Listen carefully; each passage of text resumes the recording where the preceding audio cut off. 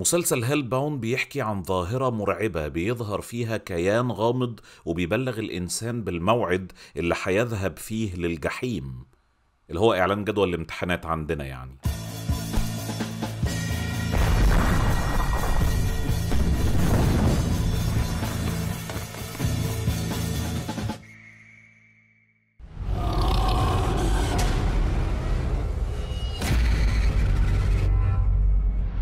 السلام عليكم ورحمة الله وبركاته أهلا وسهلا بكم في مراجعة جديدة من فيلم جامد والعمل اللي هنتكلم عنه النهاردة هو المسلسل الكوري Hellbound مسلسل Hellbound مش جديد قوي بقاله يمكن أسبوعين على Netflix وهو مسلسل مأخوذ عن webtoon شهير وال webtoon دوت على قد ما أنا فاهم حاجة عاملة زي الكوميكس كده بس رقمية غير مطبوعة وبتبقى عاملة زي العمود كده بتقعدوا تسكرولوا لتحت عشان تشوفوا الأحداث كلها. وهو مسلسل للمخرج يون سانج هو نفس المخرج اللي قدم لنا Train to Busan ونفس المخرج اللي قدم لنا Peninsula والمرة دي بيقدم لنا أحداث طبيعية معاصرة فيها بس عنصر واحد خيالي وهو انتشار ظاهرة غريبة. كيان غامض بيظهر للإنسان بيبلغه بميعاد موته وبيؤكد له إنه رايح للجحيم. وفي الميعاد اللي بيحدده بيظهر ثلاث كيانات أخرى ضخمة الجثة بترن الإنسان علقة وبتسحبه معاها للجحيم. ومع انتشار الظاهرة دي بتبدأ حركة اسمها الحقيقة الجديدة. مع جناح متفق معاها ولكن عنيف شوية اسمه رأس السهم. والجماعتين دول بيكتسبوا قوة ونفوذ وشعبية كبيرة مع تكرار الظاهرة لأنهم بيقدموا لها تفسير إلهي وبيفرضوا على الناس بالقوة مفاهيم الخير والشر. وأمام النفوذ الواسع ده بتظهر لهم بعض الأصوات المعارضة. لحد ما في يوم الظاهرة دي بتستهدف شخص بيغير كل المقاييس وبيحصل صراع كبير عليه من الجهتين. فيا ترى إيه اللي هيحصل؟ زي ما قلت لكم كده مسلسل Hellbound مش جديد قوي. وأنا شفت أول حلقة منه أول ما ظهر على Netflix وبعدين قعدت فترة طويلة ما رجعتلوش. وده لأن للأمانة الحلقة الأولى ما استهوتنيش قوي. وده رغم بدايتها الجيدة جدا. لأن بعد ما تم تقديم الظاهرة المرعبة دي الأحداث أخدت سكة عكس اللي أنا كنت متوقعها. أنا كنت متوقع إن الغموض هو اللي هيسيطر على كل شيء. والهدف الرئيسي بتاع الأحداث هو محاولة تفسير الظاهرة. ولكن الأحداث زي ما شرحت بتركز أكتر على اللي تسببت فيه الظاهرة. الظاهرة إيه اللي حصل للمجتمع الكوري بعد ما ده بقى واقع مين اللي هيستفيد منه؟ مين اللي من مصلحته إن هو ينشر الخوف أكتر؟ مين اللي ممكن يقاوم الاتجاه اللي بيكتسب هيمنة كبيرة جدا بسبب عامل الخوف ده؟ وإيه انعكاسات ده كله على ركائز الحياة المعاصرة؟ العلاقات العائلية علاقات الشغل علاقات الشعب بالدولة علاقات الجمهور بالإعلام. ومن جوه ده كله كان فيه دراما غنية وناضجة جدا. بس نقطة الانطلاق ممكن تكون مربكة شوية. وتركيزها الكبير على قائد وزعيم حركة الحقيقة الجديدة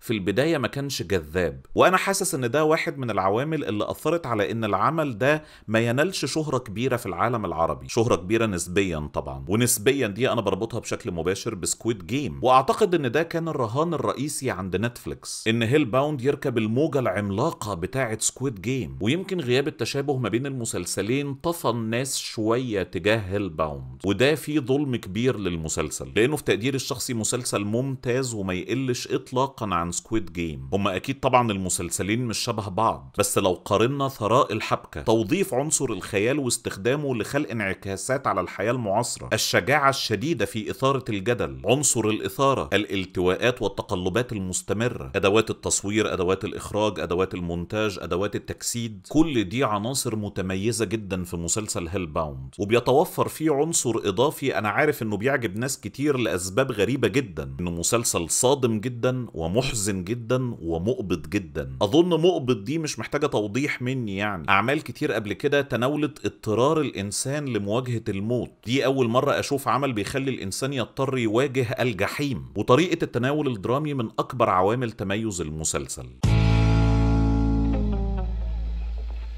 Squid Game مش المسلسل الوحيد اللي افتكرته وأنا بتفرج على Hellbound مع الوصول للحلقة الرابعة بالتحديد افتكرت كمان مسلسل Arcane مش في أي حاجة غير طريقة تقسيم الحلقات. مسلسلنا ممكن ببساطة تقسيمه لفصلين. كل فصل منهم ثلاث حلقات وما بينهم في فترة زمنية. بس Hellbound عنده جرأة أشد كمان في التقسيمة دي. لأنه تقريبا يعتبر قدم قصتين منفصلتين. العناصر المشتركة ما بينهم على مستوى الشخصيات مش كتير. بس الاستمرارية موجودة والبناء على الأحداث السابقة حاضر. والأحداث هنا هي قصص بني أدمين عاديين بيواجهوا ظرف غير عادي. ورغم إن عنصر الجذب الرئيسي للمسلسل هي الفكرة المجنونة بس كان في حرص كبير قوي على عكس العواطف المناسبة عند الشخصيات وده رفع جدا من شأن التجسيد. تخيل معايا كده شخصية بتتعرض للظاهرة اللي أنا شرحتها دي وبعدين يلاقي نفسه هدف. من المؤسسة أو المنظمة اللي عاوزة تستخدم الظرف الشخصي جدا ده لمصلحتها ومن الجوانب اللي عاوزة تقاومهم انعكاسات مرعبة على الشخص نفسه وعلى الناس المحيطة بيه وعلى الآثار المخيفة اللي ممكن تنتج عن تجربته. ده على مستوى التفاصيل اللي المسلسل بياخد وقته جدا فيها. مفيش شخصية بتتعرض للظاهرة دي بنتعامل معاها باستخفاف. كل مرة بنعيش التجربة بكل تفاصيلها مع الشخص. لا بجد قدر الألم والحزن والانقباض اللي أنا عشته مع المسلسل مش بسيط. وبعدين ناخد التجارب دي كلها للصورة الكبيرة اللي بيحصل فيها الانعكاس. انعكاس على واقعنا الحالي. بعيد عن الانعكاسات السياسية والانعكاسات الاقتصادية اللي إحنا متعودين عليهم في الأعمال الكورية. المرة دي الانعكاس اجتماعي وعقائدي. ومش عاوز أسيس الدنيا وأقول إن المسلسل ما عندوش رسالة. بس حابب نستخدم التعبيرات بدقة. هي رسالة وليست أجندة. رسالة للبشر كلهم. رسالة لكيفية تعريف الخير والشر داخل أي مجتمع. بعيدا عن المفاهيم الملتوية لكيفية كسب سطوة ونفوذ وأموال. متسلحين بولا حاجة غير الخوف. المسلسل جدلي وحساس وجريء جدا. وكالعادة مش صعب ابدا إننا نشوف مجتمعنا فيه. وفي نفس الوقت من غير ما ننسى إننا أمام قصة فيها كل عناصر الجذب اللي بنحبها. الشد العصبي والإثارة من أول حلقة لآخر حلقة. لحظات الصدمة ولحظات الرعب. يمكن يعيبه بس إنه في قدر كبير من الملائمة وبيعتمد على إن الرؤية الفلسفية بتاعته تطمس معالمها. لكن تصميم تزامن الأحداث ممكن فعلا يزعج تجربة المشاهدة شوية. عندنا نقاط تميز تقنية مقبولة ونقاط تميز فنية استثنائية. شغل المؤثرات البصرية بتاع الظاهرة اللي إحنا اتكلمنا عنها ده مش أفضل حاجة في الدنيا بس اللي بينتج عنه على مستوى الكادرات وعلى مستوى الصورة شيء رائع. وفي الفصل الثاني من الأحداث بالتحديد بيبعت رسائل بالهبل باستخدام عناصر الصدمة وعناصر الدراما وعناصر الكوميديا كمان في بعض الأحيان. فده كله بشكل عام بيخلق تجربة بصرية متميزة جدا وفي عدد من مشاهد الأكشن المتميزة جدا على مستوى الإخراج. طريقة تتبع للكاميرا وطريقة توالي للمشاهد حقيقي ملفتة.